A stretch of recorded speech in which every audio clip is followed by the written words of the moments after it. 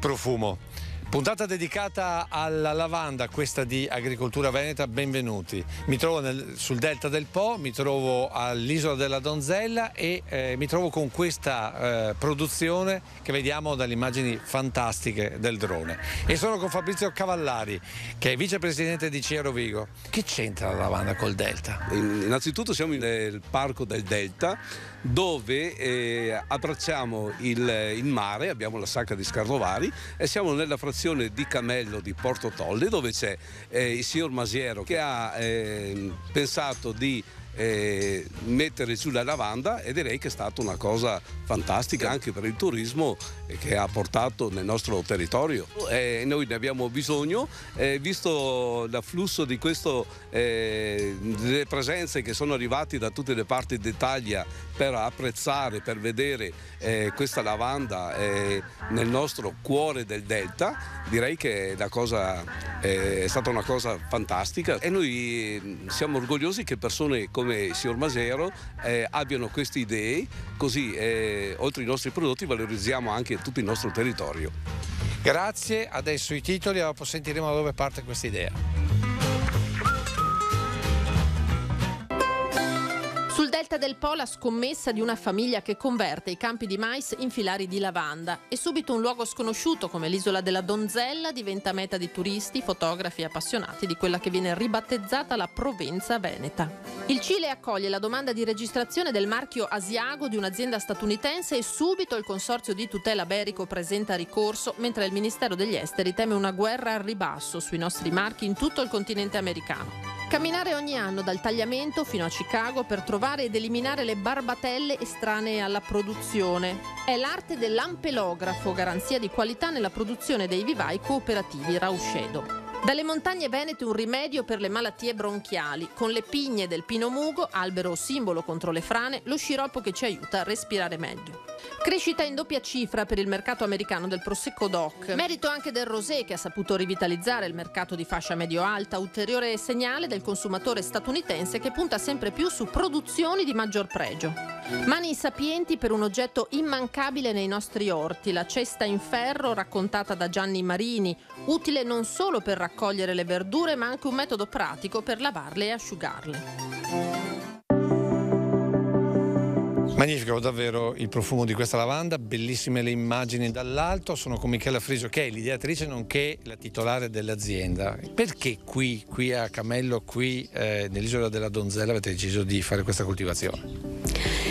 Perché nel 2008 ho acquistato questo terreno qui all'isola della Donzella e quando mi ha portato mio marito a vedere questo terreno era seminato grano, quindi era una distesa completamente verde e qui io ho respirato pace, serenità, tranquillità, una sensazione di benessere mm, indescrivibile e, mm, e, quindi mi sono proprio innamorata letteralmente di quel luogo. Eh, una volta finito, terminato di pagare i mutui, insomma, eh, ho detto beh investiamo di nuovo. E quindi abbiamo deciso di impiantare la, una pianta eh, che poteva rendere quel luogo ancora più ehm, ehm, bel, bello, mh, mm, ehm, che ti dava ancora più pace perché proprio la lavanda comunque eh, trasmette in sé, ha delle proprietà di, di mm, rilassanti.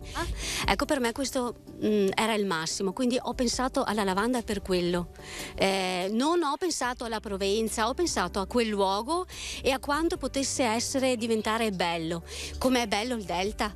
Il delta, in, in, da questo, questo, lato del delta è una cosa fantastica, meravigliosa, trasmette pace, eh, serenità, eh, in mezzo alla natura, senza case, eh, veramente fantastico, almeno mh, questa è quello, l'emozione che mi fa provare.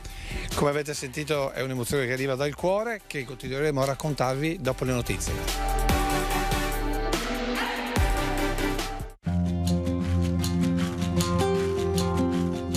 Stati Uniti, primo paese importatore di Prosecco DOC con un incremento del 16%, merito anche del Rosé che ha saputo rivitalizzare il mercato di fascia medio-alta. Dopo l'effetto penalizzante della pandemia nel 2020 che ha arrestato la crescita e comportato una contrazione dei consumi, nel primo quadrimestre di quest'anno le esportazioni di Prosecco DOC evidenziano una crescita in volumi, con un trend importante anche per il prezzo di mercato sullo scaffale, mediamente sui 13-15 dollari la bottiglia per la bollicina di pianura. L'attacco è arrivato sul diario ufficiale del Cile, versione sudamericana della Gazzetta Ufficiale, con la domanda di registrazione del marchio Asiago avanzata dal consorzio statunitense CCFN con l'obiettivo di preservare la capacità dei produttori e dei consumatori di tutto il mondo di utilizzare i nomi comuni, proteggere il valore dei marchi riconosciuti a livello internazionale e prevenire nuove barriere al commercio. Il consorzio di tutela Berico ha già presentato ricorso e la Farnesina, attraverso l'ufficio della difesa commerciale, commerciale, ha paventato il pericolo che la registrazione indebolisca gli sforzi negoziali intrapresi dall'UE nella trattativa sull'aggiornamento dell'accordo di associazione con il Cile, tanto da invitare le realtà interessate a presentare opposizione entro 30 giorni all'Istituto Nazionale de Propiedad Industrial. Con una media di 36 centesimi per litro, il latte veneto è tornato ai livelli di commercializzazione pre-Covid. Lo riporta Veneto Agricoltura in un suo nuovo report, sottolineando come le progressive riaperture di hotel, ristoranti e catering stanno cominciando a riequilibrare i canali di vendita. Le previsioni di un ulteriore miglioramento per il latte arrivano anche dalla maggior vivacità del mercato mondiale. Infatti, da una parte troviamo un aumento di richiesta di prodotto da parte della Cina e dall'altra una minor disponibilità di latte neozelandese, nonché una flessione della produzione da parte dei paesi europei più lattiferi, aspetti questi che hanno già fatto aumentare il prezzo del latte mediamente del 5%. Le imprese agricole rischiano di trovarsi a ranghi ridotti in un momento delicatissimo della stagione per la mancata proroga di permessi di soggiorno ai lavoratori stagionali extracomunitari già presenti in Italia. Solo in Veneto, ricorda Coldiretti, la manodopera stagionale, in particolare da Africa, Asia e altri paesi non comunitari, nel 2020 ha fatto registrare 29.000 assunzioni, di cui 13.000 nel periodo della raccolta di uve e della frutta nel terzo trimestre. Per questo il presidente nazionale della Coldiretti, Ettore Prandini, Salvini ha scritto una lettera al ministro dell'Interno Luciana Lamorgese per chiedere un intervento immediato.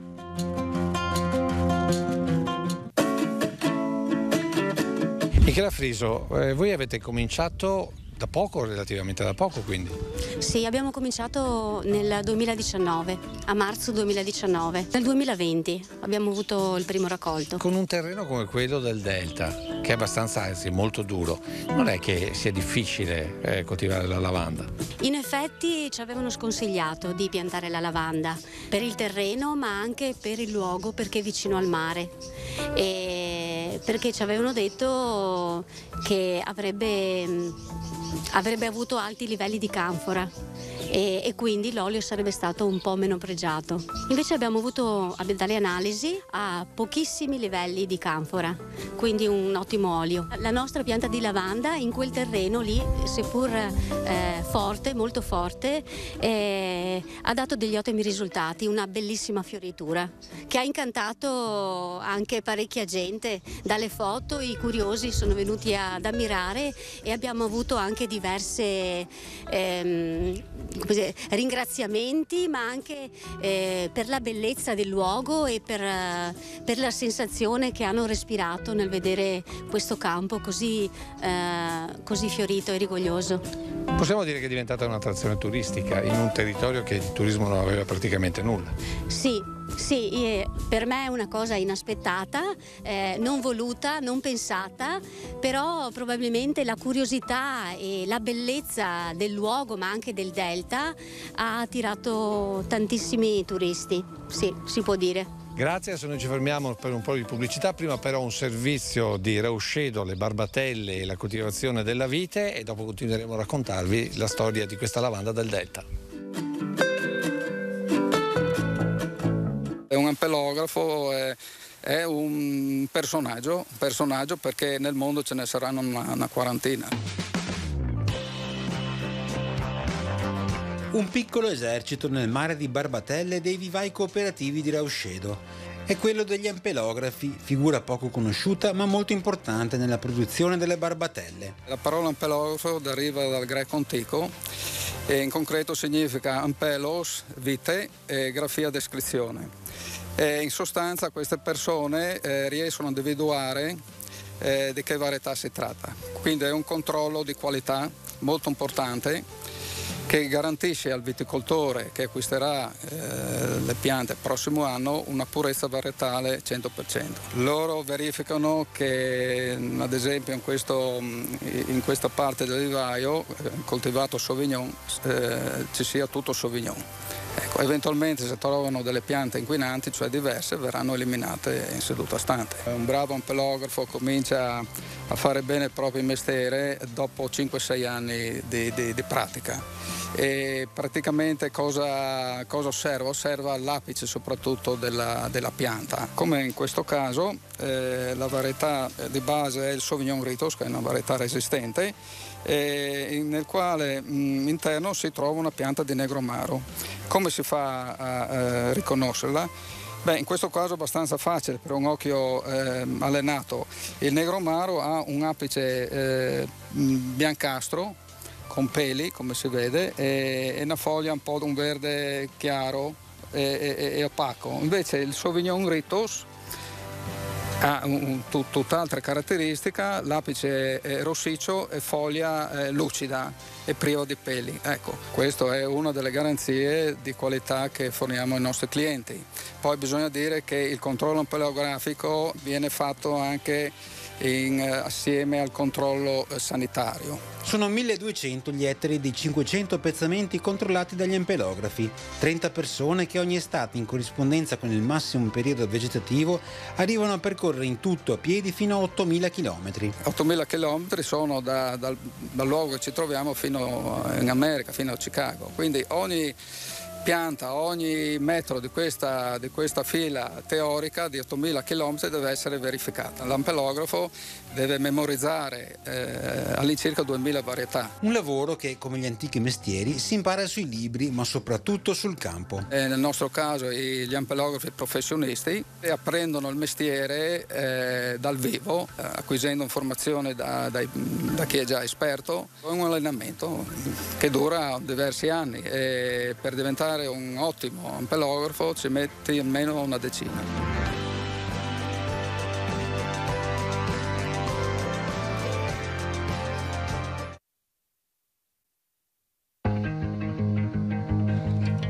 Seconda parte di Agricoltura Veneta, vi stiamo raccontando la lavanda polesana e siamo qui nell'isola della Donzella.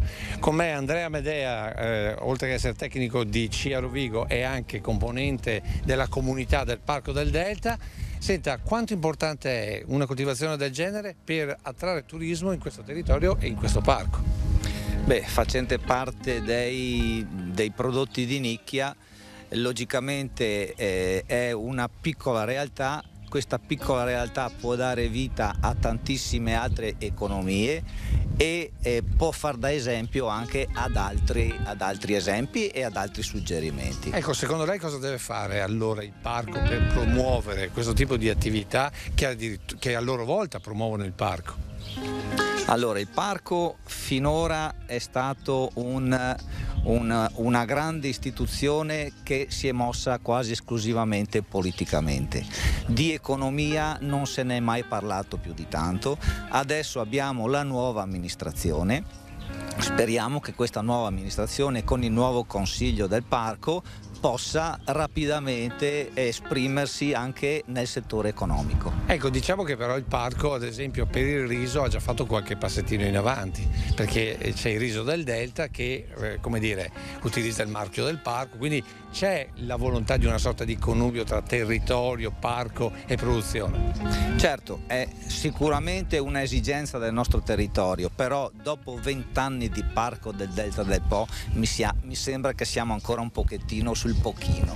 Senta, i giovani e questo tipo di produzioni possono dare una mano al rilancio di questo territorio? I giovani devono assolutamente credere nella nostra agricoltura, lo devono fare perché è un lavoro, è un mestiere che dà soddisfazione. L'importante è che la diversificazione sia eh, mirata, oculata, perché eh, nella diversificazione riusciamo a, a trovare dei settori economici nuovi da espandere. Grazie, adesso abbiamo Renzo Gatto, poi andremo a vedere la generazione di oggi e di domani della lavanda polesana. Pino Mugo, conosciuto anche col nome di Pumiglio, è un pino eh, cespuglioso però, che cresce più in larghezza che in altezza, è come si dice prostrato. È un albero che cresce negli anfratti e le sue radici hanno la capacità di ancorare il terreno eh, senza che si formino delle, delle, frane. È un albero originario delle Alpi. Perché ci interessa il pino mugo?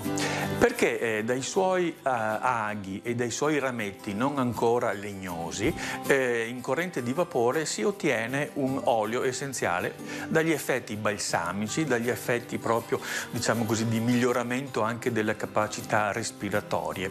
Come si utilizza? Si può utilizzarlo da solo, eh, mettendo due o tre gocce e un pugnetto di eh, sali del Mar Morto e si mette il tutto in acqua bollente, eh, dove le emanazioni di questi oli essenziali vengono respirati. Con gli oli essenziali non si devono mai fare aerosol, con nessun olio essenziale si fa aerosol. Eh, molto interessante e anche molto come dire, comune è lo sciroppo di pino mugo. Eh, lo sciroppo non viene ottenuto dagli aghi, ma viene ottenuto dalle pigne, che vanno raccolte quando sono ancora verdi, cioè piene di resina.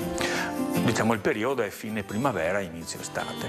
Eh, queste pigne vanno messe in un vasetto di vetro, vanno ricoperte ehm, di zucchero, Attenzione, non bisogna lasciare degli spazi, diciamo, uh, senza zucchero. Si lascia a riposo per un certo periodo di tempo, che può variare dei 2-3 mesi. Si ottiene una soluzione di eh, sciroppo con questa resina di pino mugo. Questa può essere utilizzata come balsamico per migliorare il respiro per le vie aeree, con uno o due cucchiaini da tè di questo sciroppo eh, due o tre volte al giorno.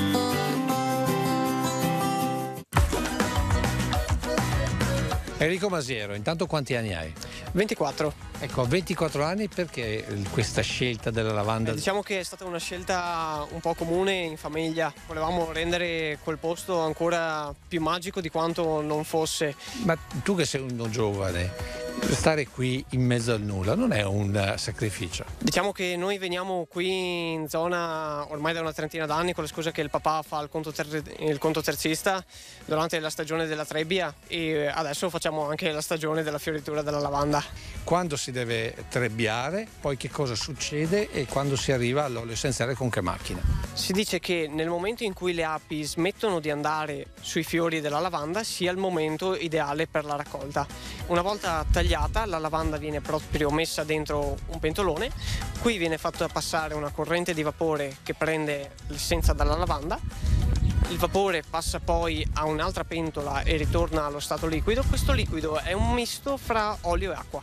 L'olio più leggero galleggia e così otteniamo l'olio essenziale. La rimanente parte di acqua ha al suo interno ancora una piccola percentuale di olio e quello è l'idrolato di lavanda, che praticamente è un'acqua aromatica.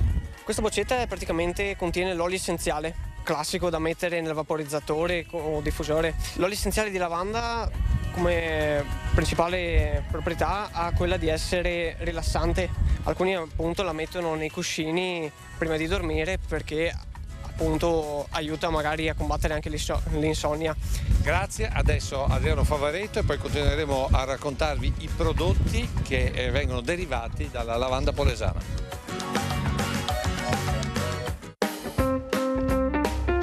Quest'anno ci si può muovere un po' di più rispetto all'anno scorso, però non dimentichiamoci una cosa, cioè quella di se abbiamo piante in casa, da appartamento o da interni come lo volete definire, dobbiamo portarle fuori.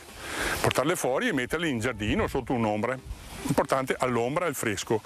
Però prima di fare questo, magari, quando le portate giù, guardate se hanno bisogno di essere cambiate di vaso, perché ogni paio d'anni bisogna cambiarle di vaso, dargli un po' da mangiare, diciamo, no? In questo caso abbiamo un ficus Benjamin, molto, come si può dire, produttivo, molto bello, non ha grandi esigenze, non è delicato, insomma. E adesso bisogna cambiargli vaso. Io l'ho già sistemato un po', ho tirato via un po' di terriccio, ho tagliato un po' le radici. Questo qua va cambiato perché vedete che ormai le radici hanno saturato, hanno mangiato tutto, diciamo, no? E quindi bisogna dargli anche da nutrire con del terriccio nuovo, fresco, concimato.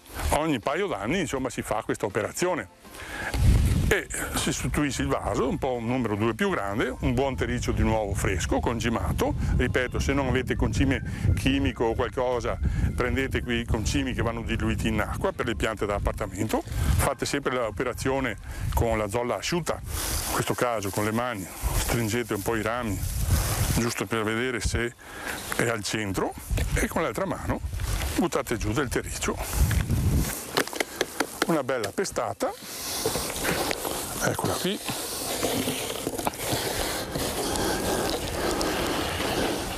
E la pianta sarebbe bella vederla in ottobre magari ci ricorderemo ha cambiato aspetto.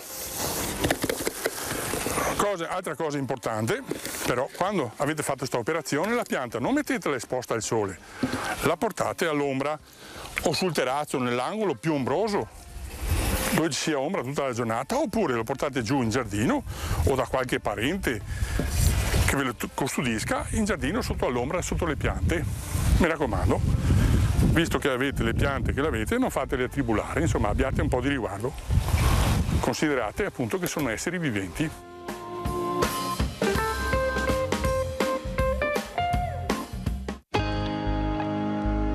Enrico ci hai raccontato la lavorazione, quindi l'olio essenziale e l'idrolato di lavanda, ma poi che prodotti vengono fuori?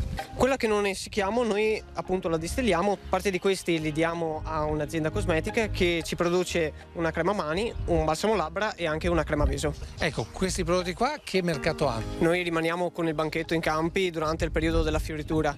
Abbiamo aperto un sito per l'e-commerce, essendo noi un'azienda agricola siamo praticamente agli inizi, non eh, sappiamo ancora molto bene come gestire la cosa. Per adesso abbiamo, ci siamo trovati meglio con il banchetto nei campi. Eh, noi abbiamo tre ettari. Il primo campo, quello più, con la lavanda più grande, due ettari, mentre la lavanda più piccola conta ormai un ettaro. La lavanda più grande che abbiamo piantato appunto tre anni fa è una lavanda ibrida. L'abbiamo scelta perché essendo la prima volta che piantavamo lavanda abbiamo ricercato una varietà più resistente.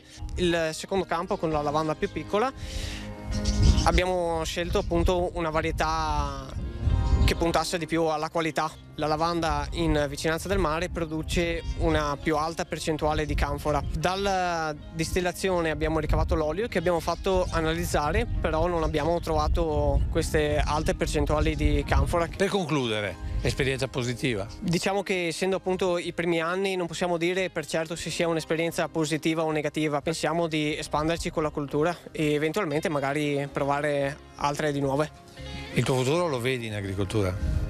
Beh, ovviamente vengo da un passato che mio nonno era, aveva le mani nella terra, mio padre ha preso la sua passione e pian piano la sta ovviamente passando anche a me.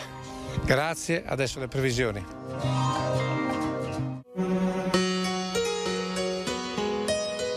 Questo periodo si caratterizza per una situazione particolare che poi ha portato l'ondata di calore.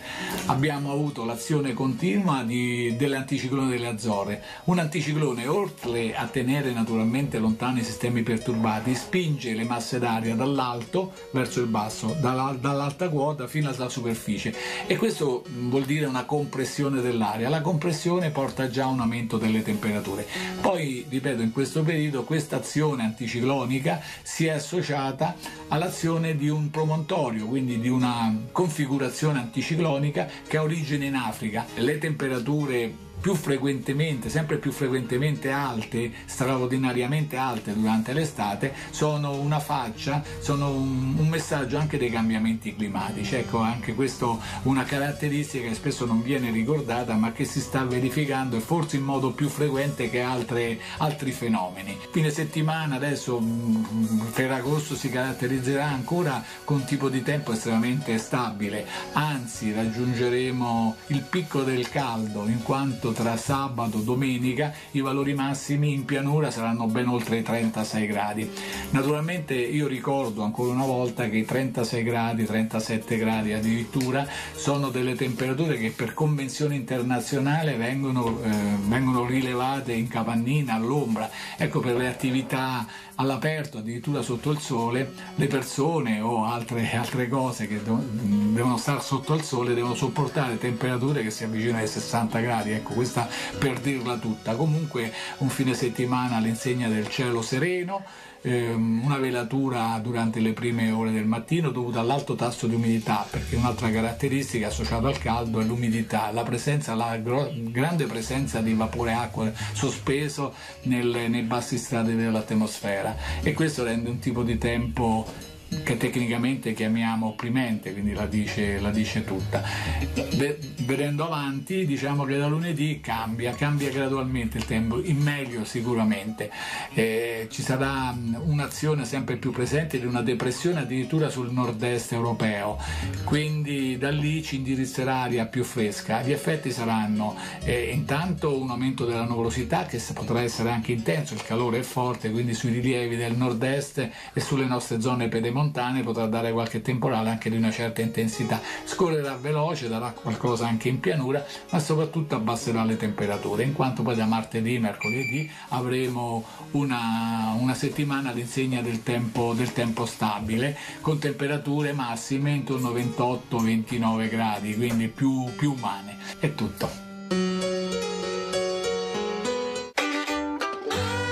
E per le conclusioni siamo con il presidente di CIA Rovigo, Giordano Aglio. Presidente, abbiamo visto questa splendida cosa che è la lavanda nel Polesine. Ma che segnale è? Abbiamo visto tanti turisti che vanno a vederla, abbiamo sentito insomma, che è una cultura estensiva. Turismo e agricoltura è una cosa che vanno di pari passo. La lavanda sembra quasi un'idea da giovani, un'idea diversa, non si è mai vista la lavanda in Polesine. Ci vogliono idee nuove per la nostra agricoltura del Polesine. Ci vogliono giovani, ci vogliono giovani, ci vogliono idee nuove, ma le idee nuove vengono dai giovani, dunque benvengano i giovani in questa nuova agricoltura, in questo nuovo territorio, nuovo sistema di lavorazione, nuovi mercati per eh, dare più stimolo ai giovani, perché noi abbiamo bisogno dei giovani per crescere, per eh, aumentare le nostre mentalità di vedere orizzonti diversi, dunque eh, lavoriamo, zappiamo diciamo eh, sui giovani per farli crescere i nostri agricoltori del futuro. Grazie Presidente si chiude qui questa puntata di Agricoltura Veneta. L'ultima parola la diamo a Gianni Marini, ai nostri proverbi e soprattutto agli attrezzi storici. Noi ci vediamo la prossima settimana.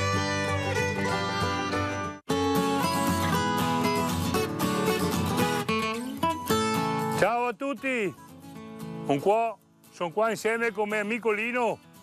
Eh, abbiamo proprio il caso di dire che qui Siga e Mandoro, perché io una volta ero andata da sua nonna era tosta una cestea perché serviva per casa. Ahí era tutta quanta in ruginia, ancora 60 anni fa. E la guardava e ha detto no, adesso basta drizzarla che ne fa una mi. E la copiata e ha cominciato a farla. Parliamo di vecchia data. Queste ste e era in uso una volta che vorrei anche adesso perché la plastica mi ha un po' rovinata per tutto. Queste qua invece cosa che serviva? In lavator assaiata, passava per l'orto in lavator assaiata e femmine dei contadini. Dopo passava per il puner e metteva dentro i uovi. Ancora e patate, era, era patatine, quelle belle qui andava messe sotto a scaia e dentro e portava dentro sta roba. Oltre che a portare sta roba dentro in cucina e serviva anche per scoiare il raicio. Una volta messo dentro, quando lo lavava, lo lavava un poco, io sbatteva e mi diceva Lino che sua nonna lo scoiava proprio davanti alla cucina dove era il crollo dei sassi, diciamo, e bagnava i sassi quando gli uomini arrivavano da, da, dai, dai campi che si sbatteva i ciocchi, così era scuro di far polvere, le pensava tutte. Alino, cosa che gli diciamo? Bravo, e speriamo che continui a fare belle ceste che sostituisce quelle che adesso di plastica. Questo con un proverbio, a besa della cucina, a se a sestea pa saiatina, e se ti aggiri pin pianeta, a te suga anche il raiceto. Ciao e sempre forti!